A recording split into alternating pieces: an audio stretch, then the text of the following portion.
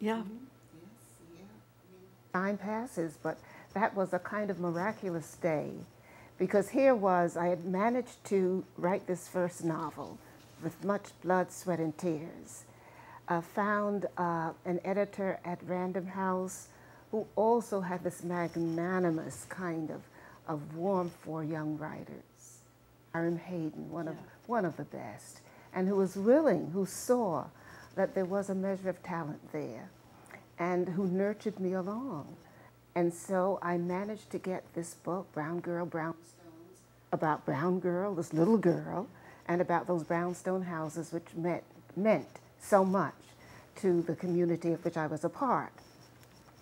And um, there was a modest book party in a Harlem storefront.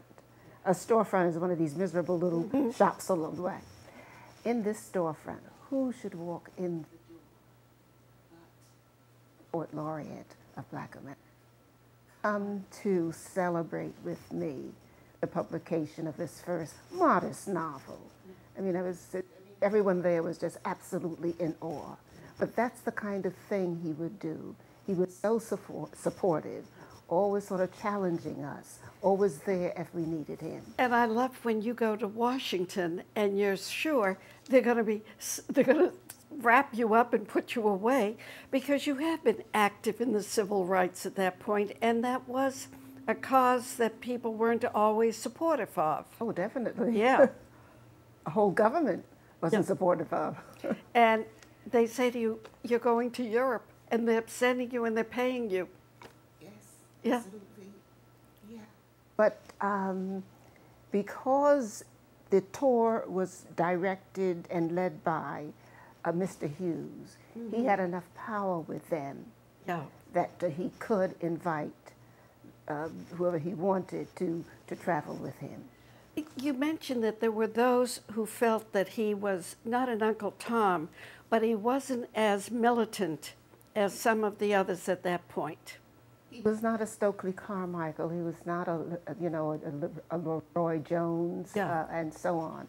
But, you know, Mr. Hughes had done his fighting, his demonstrating, his challenging the government years.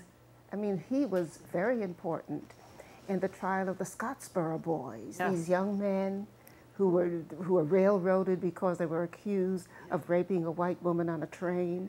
Mr. Hughes all to get those young men freed. I mean, he had just done so much that it was so totally unfair for um, for them, for people to think that he was lesser, uh, less involved in the movement than he was. The book is called Triangular Road, but it also is Triangular Oceans. Mm-hmm.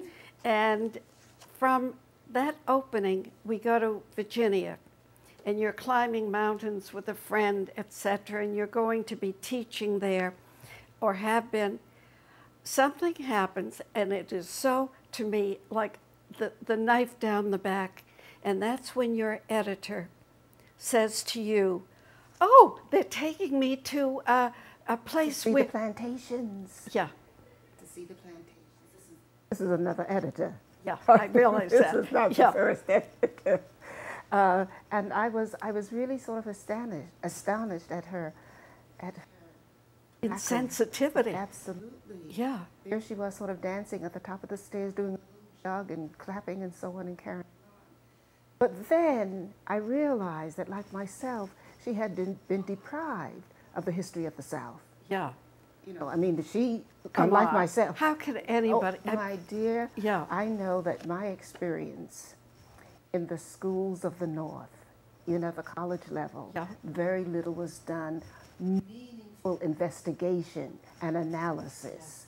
Yeah. Mm-hmm of the South. Well, they better read Charles Johnson's book, Middle Passage, Absolutely, to know. Yes. But that brings to mind, I would love to have you read, if you would, something you write here about what happened with uh, when they came over and the, the scene in the South.